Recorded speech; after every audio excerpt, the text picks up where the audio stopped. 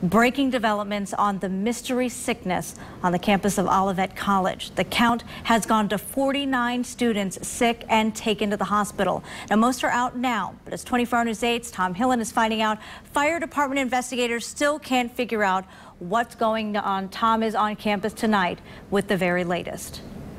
The dean telling me tonight that since 6 o'clock, about 11 more students have gone to the hospital after not feeling well.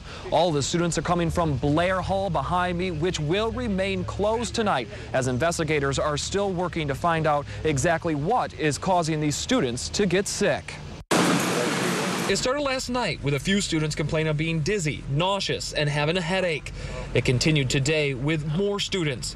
The fire department was called just before noon. When they got here, they found a male student who had collapsed to the floor and was unconscious. We don't know what uh, might be causing this, but ev everything's on the table still uh, as a consideration. The fire department says when they got on scene, they started to check the building for carbon monoxide. Let's make sure it's not CO and we turned the monitor on and going through everything and, and, got nothing. Blair Hall is an all-boys dorm with more than 100 students living in it. Many of them are athletes, like football freshman TJ Stevens. As more and more people started leaving ambulances and stuff like that, I get a little bit nervous about what's going on, just wondering. It was at football practice this afternoon that he decided it was time for him to go to the hospital and get checked out. People were leaving there to go to the hospital, get checked out. People weren't feeling good.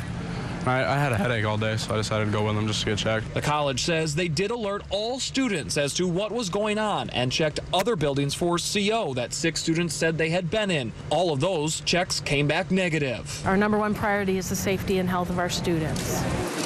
The dean tells me that they have installed about 40 carbon monoxide detectors in the hall just as a precautionary measure. She also says that they will be bringing in more equipment tomorrow to run more tests, still trying to figure out exactly what is making these students ill.